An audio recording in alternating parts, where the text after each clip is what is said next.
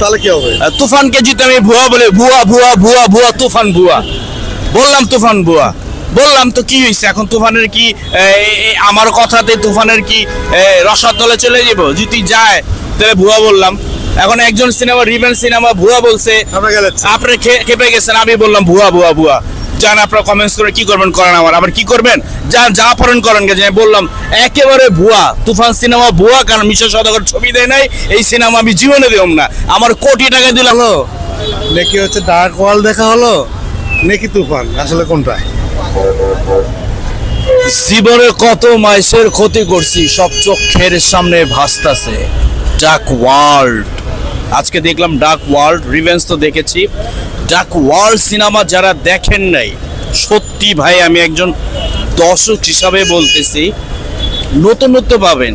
আমরা তো অনেক সিনেমা দেখি যে গতানুগতিক গল্পগুলো কপি থাকে, কিন্তু এই সিনেমা আমার মনে হয় প্রতিটা অভিভাবক, প্রতিটা তরুণ ছেলে মেয়েদের দেখা উচিত, বিশেষ করে মেয়ে মেয়েদের দেখা উচিত এবং যারা গার্ডিয়ান রয়েছেন, তাদের দেখা উচিত। কারণ এখানে যে সিনেমার মেসেজটা রয়েছে, সেটা হচ্ছে উঠতি বয়সের মেয়েরা, যারা তরুণ মেয়েরা রয়েছেন, তারা কিন্তু অনেক সময় অনেক বন্ধুদের পাল্লায় পড়ে বিভিন্ন ফাংশনে যান।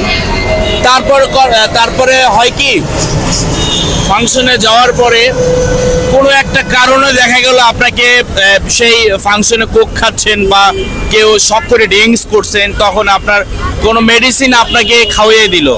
তারপর কি হবে? আপনাকে নিয়ে অনেকে কিন্তু অনেক লোক আছে যারা ভিডিও বানিয়ে কোন ভিডিও বানিয়ে আপনাকে, আপনার বাবা মা আত্মীয় স্বজনকে ব্যাকমেল করতে পারে। আপনার মান সম্মান আপনার মান সম্মান নিয়ে কিন্তু খেলতে পারে। তো এই সচেতনমূলক একটা সিনেমা কিন্তু বিষয় হচ্ছে যে আপনি হচ্ছে যে মিশার হচ্ছে ডার্ক ওয়াল দেখলেন মিশার রিভান্স দেখলেন। তাহলে মিশার তুফান দিয়ে আপনি দেখছেন না কেন? আরে ভাই তুফানের কথা কইবেন না আপনি ভাই। তুফানের কথা কইলে আমার মেজাজ খারাপ হয়ে যায়। কারণ কি জানেন? তুফান সিনেমার পোস্টারে ভাই মিশা সওদাগরের ছবি নাই। এইটা কি মাইনা নেওয়া যায় ভাই? মিশা সওদাগর কোন দিক দিয়ে খারাপ? কোন দিক দিয়ে মিশা সওদাগরের জনপ্রিয়তা কি? সাকিব খানের চেয়ে কম নাইকা মিশা সওদাগর সাকিব একই একই মালার দুইটা ফুল যেমন, একই সাথে কিন্তু তারা জুটি করে এসেছে, তাই না?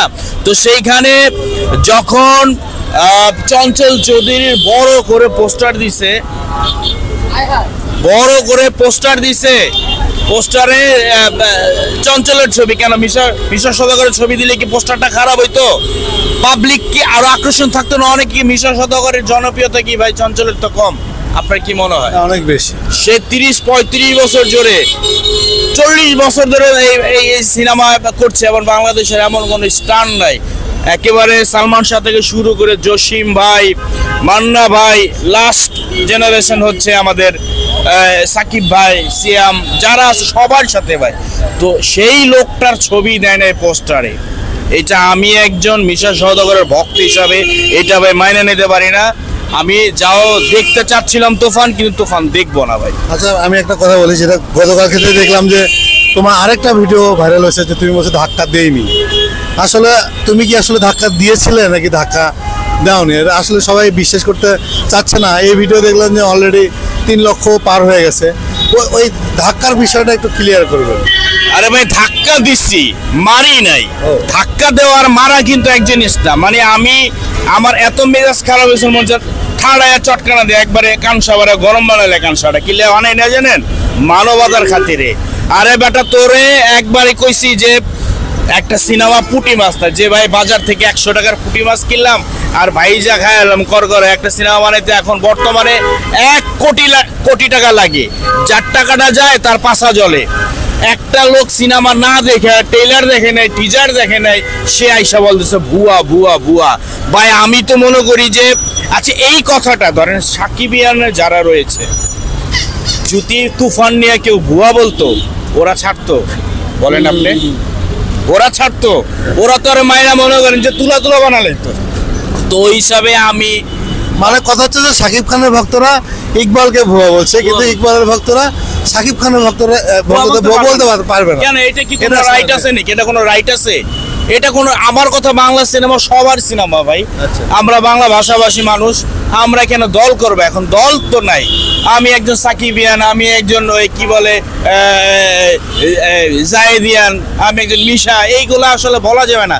বাংলা সিনেমা যেটা ভালো সেটাকে ভালো বলতে হবে, যেটা খারাপ সেটাকে খারাপ বলতে হবে। আমি সিনেমা না দেখেই এখন কিছু লোক আমি দেখছি আপনার ভিডিওতে আজে বাজে কমেন্টস করছে। তো তাদের উদ্দেশ্য বলব ভাইয়া, আগে সিনেমা দেখো। আর এখানে সাকিবেনের কোনো কথা না।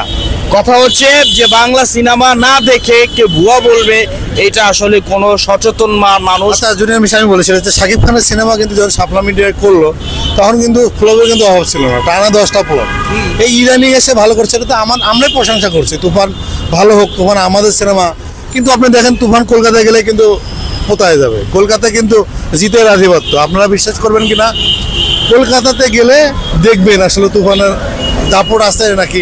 জিতের দাপট আছে। সেটা আমরা দেখতে চাই। বিষয়টা হচ্ছে যে আমি ওটাই বলব যে আসলে ভুয়া বলা আসলে কি ঠিক কিনা। ভুয়া বলা কারও পক্ষেই মানে এটা আপনি যদি এখন হচ্ছে যে তুফানকে ভুয়া বলেন তাহলে কি হবে? তুফানকে যদি আমি ভুয়া বলে ভুয়া ভুয়া ভুয়া ভুয়া তুফান ভুয়া। বললাম তুফান ভুয়া। বললাম তো কি হয়েছে এখন তুফানের কি আমার কথাতে তুফানের কি রসাতলে চলে যাব যদি যায় তাহলে ভুয়া বললাম।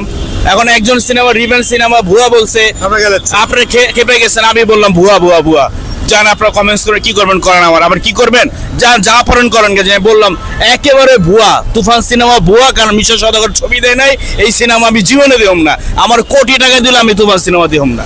এই যে আবার নতুন কিন্তু গ্যাঞ্জামের সৃষ্টি হচ্ছে, কারণ হচ্ছে যে আমরা দেখেছি যে ইকবালকে আসলে ভুয়া বলার কারণে কিন্তু একটা যুদ্ধ লেগে গেছে। আজকে কিন্তু জুনিয়র মিশা বলল যে, তুফান নাকি ভুয়া? আসলে আপনারা জানাবেন এটা আসলে এই দ্বন্দ্বটা আসলে কোন দিকে যাচ্ছে?